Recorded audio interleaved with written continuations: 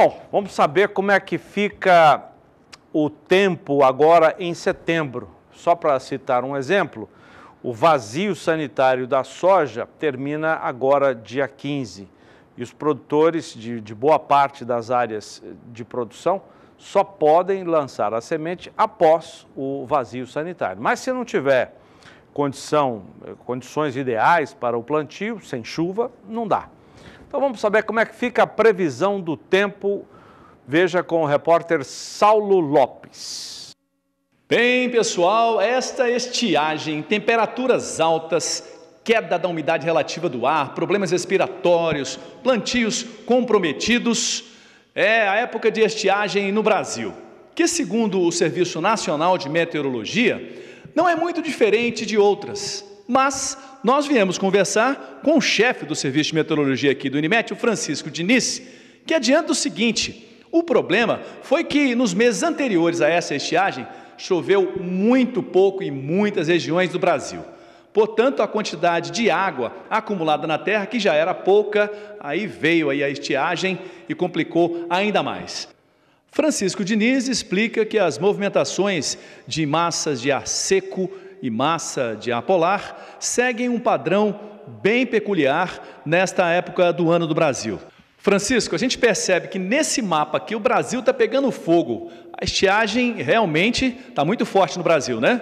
Devido à estiagem, muitos dias sem chuva, né, as temperaturas estão elevadas porque tem um predomínio muito forte da massa de ar quente e seca sobre o centro do Brasil, faz com que as temperaturas fiquem na faixa de 38, 40 até 41 graus, como tem ocorrido no Mato Grosso. No Mato Grosso, essas condições ainda vai continuar mais dias pela frente durante agora o mês de setembro. Como está um predomínio ainda da estiagem, a previsão ainda é de ter um setembro muito seco ainda com temperaturas elevadas, quase sem chuva na parte central, sudeste do Brasil, ainda até o Paraná. Então aí não vai ser bom ainda para o plantio, ainda praticamente agora em setembro, né? Apesar que Paraná e Mato Grosso já têm condições de plantar agora na segunda quinzena de setembro, mas as previsões indicam chuvas fracas, abaixo da climatologia, então isso ainda não favorece o plantio para esse mês de setembro. O Pantanal tem sofrido muito com queimadas e toda a problemática é, que a gente já sabe que acompanha as estiagens. E as pastagens? E o plantio de milho, de soja? Como é que fica na região centro-oeste?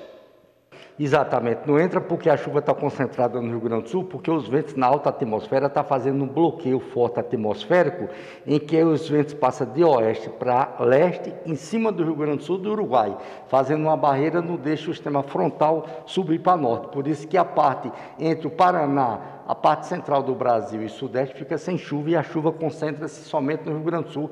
Isso já vem ocorrendo algo de dois meses atrás. E daí fica o predomínio do ar quente seco sobre o centro do Brasil e a chuva persistindo sempre em cima do Rio Grande do Sul. A gente vai ter ao longo dessa semana todinha essas condições ainda e ainda praticamente a primeira quinzena de setembro persistindo essas condições. Aquela onda de frio, ela ainda pode vir, é, vir, frio pela frente ainda, né? Ainda frio retardado, vamos dizer assim, em setembro, mas não forte como existiu, né?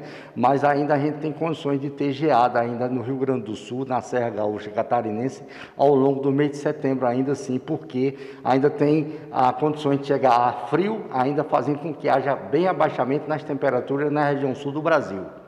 Segundo o estudo climatológico realizado pelo INMET, nos últimos 30 anos, as temperaturas médias das cidades brasileiras aumentaram um grau. Isso se deve ao adensamento urbano, né? densidade demográfica, aumenta a população, asfaltamento de muitas superfícies, aliado também a uma tendência de aumento de temperatura global. De Brasília, Saulo Lopes.